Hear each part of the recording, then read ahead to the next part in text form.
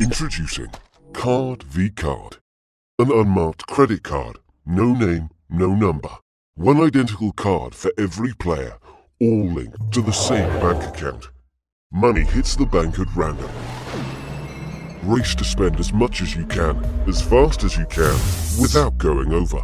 Card v Card is the world's first competitive multiplayer bank account.